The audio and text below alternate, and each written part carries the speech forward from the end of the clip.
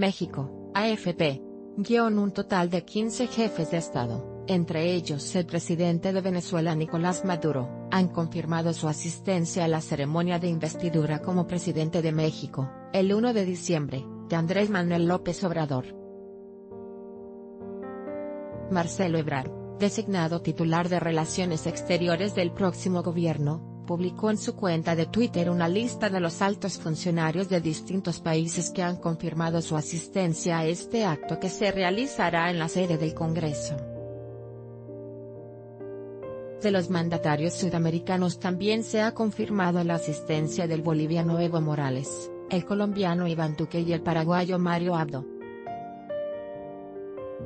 Según el mensaje de Brad, Estados Unidos será representado por el vicepresidente Michael Pence. La primera visita de Maduro destaca la mención de Maduro, quien realizaría así su primera visita a México desde que asumió la presidencia de Venezuela en abril de 2013, y luego de tener marcadas diferencias con el gobierno del actual presidente Enrique Peña Nieto.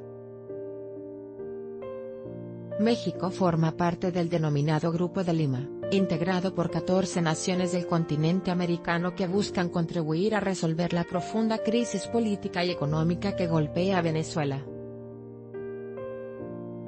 Algunos críticos de López Obrador han advertido que bajo su presidencia México podría seguir el rumbo de Venezuela, y han comparado su estilo con el del fallecido expresidente Hugo Chávez.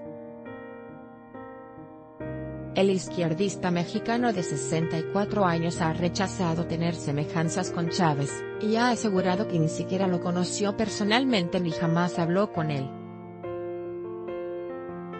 Investidura sin guardias La ceremonia de investidura se realizará en el Congreso mexicano, y tanto el equipo del presidente electo como el legislativo, en el que el partido de López Obrador es mayoría, han anunciado que por primera vez no habrá seguridad ni guardias presidenciales. Como parte de una política de austeridad, López Obrador ha asegurado que disolverá el Estado Mayor Presidencial, un cuerpo integrado por militares y que históricamente ha resguardado al mandatario en turno.